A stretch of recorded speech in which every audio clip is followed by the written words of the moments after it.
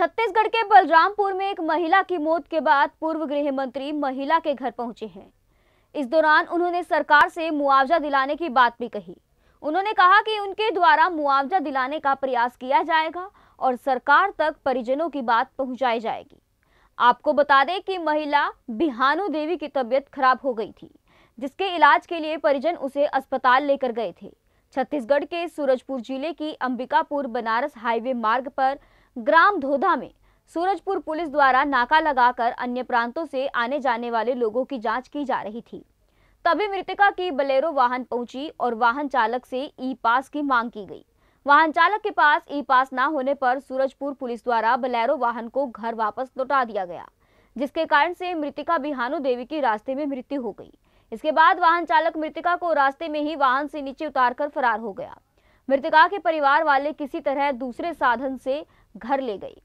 मामला सुर्खियों में आने पर प्रदेश के पूर्व गृह मंत्री रामसेवक पैकरा मृतिका के घर पहुँचे और लोगों को आश्वासन दिया कि हम शासन से 25 लाख रुपए की मुआवजा दिलाने की मांग कर रहे हैं और बलैरो चालक के ऊपर एफआईआर दर्ज करने की भी मांग की जा रही है।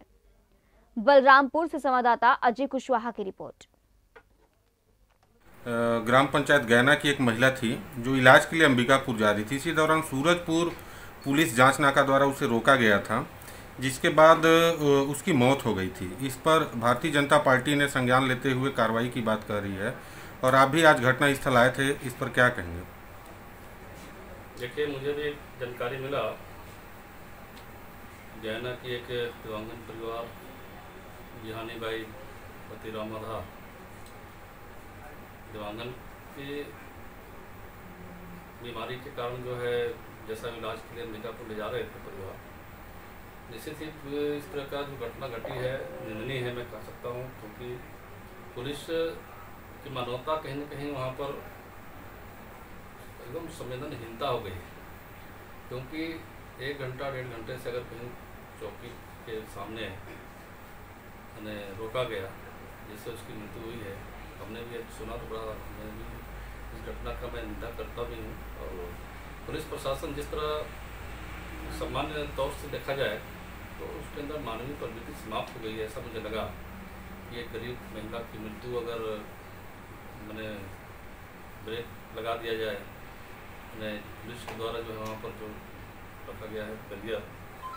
और उसके साथ साथ दो जो मैंने जो बात किया, उससे पता चला कि जो ड्राइवर है, गाड़ी मालिक का जो ड्राइवर है, जो भी है उसने भी लास्ट रास्ते में मृत होने के कारण जो रास्ते में छोड़ दिया। इसलिए इस संबंध में हम लोगों ने पार्टी ने भी हमारे भारतीय जनता पार्टी के मोर्चा, हमारे मंडल के पदाधिकारी के साथ मिल करके हम लोगों ने गया था। और हमारे भारतीय जनता पार्टी ने भी एक विधायक दल की टीम बनाया है, जाँच टीम। संभवतः आठ या नौ तारीख को आने का है। तो मुझे लगता है इस पर विधानसभा में इसको बात उठाया जाएगा और उस पीड़ित परिवार को मुआवजा मिले, क्षतिपूर्ति उस परिवार के। परिवार को मिले और दोषी, जो दोषी हों, जो ज़रूरत में जो भी कर्मचारी रहा हो, जो इस तरह के मानवता को नहीं देख पाया, उसके ऊपर जाँच कर कार्रवाई करना चाहिए। मुझे लगता है कि इसका न्याय अकेले ही हम लोगों ने मांग किया है और आज भारतीय जनता पार्टी के युवा मोर्चा से लेकर हमारे मंडल के पदाधिकारी उस घटनास्थल पर उस पीड़ित परिवार से मिलने गए थे।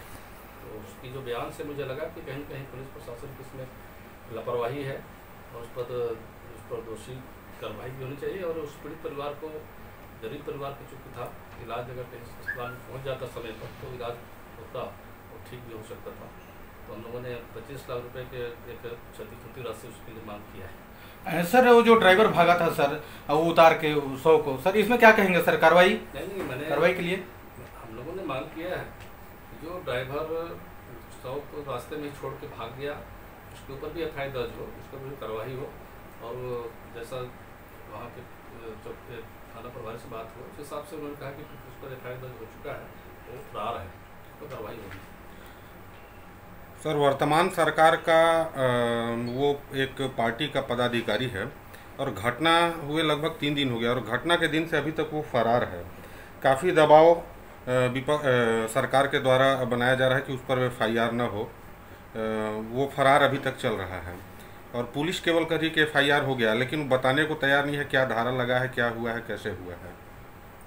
देखिए, जानकारी के अनुसार तो जैसा हमने भी चर्चा की, उन्होंने कहा एफ़ दर्ज हुआ है और फरार है, उस पर कार्रवाई होगी। और जाँच दर्ज तो करेगा ही, जब एफ़ दर्ज होगा उस पर कार्रवाई होगी, ऐसा उन्होंने आश्वस्त किया है। और ये तो सरकार इस समय जो मैं देख रहा हूँ, कोरोना के बहाने कहीं ना कहीं पुलिस भी जागती जनता से किया है। कई जगह आप लोगों ने देखा होगा। और ठीक है उससे जाँच होना भी चाहिए। कोरोना के माध्यम से कोई बड़ी गाड़ियाँ हैं कोई दूर दराज से आ रहे दूसरे स्टेट से आ रहे हैं। ये तो लोकल बॉडी है लोकल व्यक्ति हैं यहाँ पर तो संविधान दिखना ही चाहिए कि हम अस्पताल जा रहे हैं जिला मुख्यालय संभाग मुख्यालय में कहीं भी अस्पताल पर जाने के लिए उन्होंने कहा था अस्पताल से छुट्टी हुआ था। लेकिन कहीं ना कहीं इसमें लापरवाही या पुलिस की जो कहीं ना कहीं गड़बड़ी के कारण वहाँ पर लापरवाही कारण इससे घटना घटी है इसलिए हम लोगों ने इस बात को मुद्दा उठाया है कि इसको उस पर पूरी परिवार को लाभ मिले मुआवजा मिले और उस दोषियों पर कार्रवाई वो बिल्कुल पर हमने मांग किया। ऐसे ही लेटेस्ट खबरें पाने के लिए बेल आइकन को क्लिक कर हमारे चैनल को लाइक शेयर एंड सब्सक्राइब करें। धन्यवाद।